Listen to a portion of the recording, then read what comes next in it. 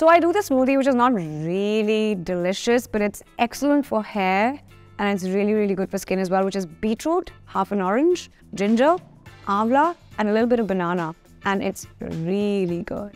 Hi, I'm Saba Azad and you're watching me on Tweak India.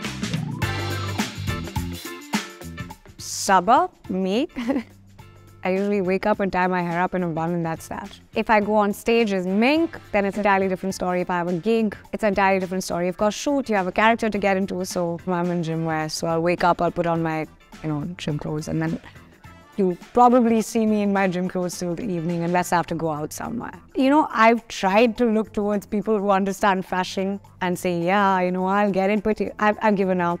I'm a frump. I'm going to be a frump and I'm okay with it. I like to cleanse. Of course, I wake up and I do an ice bath for my face. So I do a minute of kind of putting my face into like a you know bowl of ice water. And then I do the cleanse, tone, serum, moisturizer, sunscreen. And uh, I start my morning with a glass of celery juice, empty stomach. So that's a couple of things I do for skin and hair to begin with. I use vitamin C.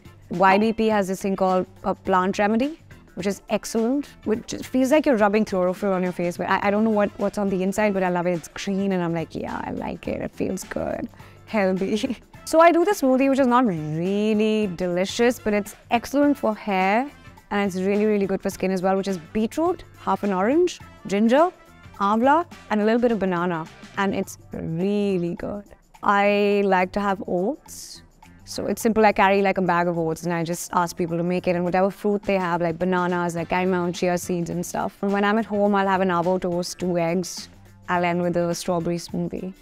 I feel like Parvana would do very little and would look great. I think she would just pull it off.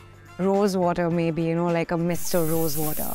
But uh, for me, I, I, like doing face packs. I like doing chandan and rose and nutmeg face packs. They're really good. You add a little bit of um, yogurt into it, a bit of lemon sometimes, depending on what you know what you want to do. And a lot of really beautiful ubtans that you know that are found traditionally. You can kind of reach out to that. Dahi is always great. You know, milk is good. So yeah, my grandmother would give us milk baths every now and then. But yeah, very nice for the skin moisturizing. Thrice a week I do yoga and thrice a week I do weight training, strength training, and sometimes I do a HIIT or I go for a swim. I've been a dancer, so I've been on my feet since I was four. If I don't work out, I will be depressed. So I love it. I need it. So I like doing rice water for the hair. I like putting anda on my hair. I do all kinds of bizarre shit actually. I have this special oil that I make for it, um, which is like onion and hibiscus and methi and curry leaves and kind of temper it and let it brew for a while and, and I put that in my hair.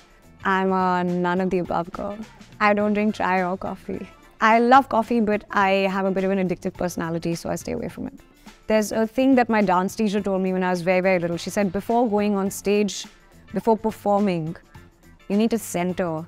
So instead of talking to people and, you know, you know, making a lot of noise. You should just sit down in one place and center yourself. So I like meditating.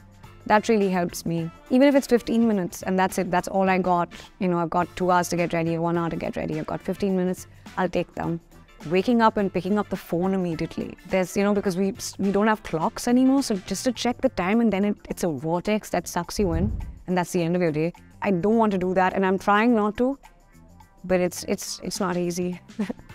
yeah, wake up and with an empty mind and, you know, just put things aside, digital things aside, and know, maybe start with reading, not on the screen.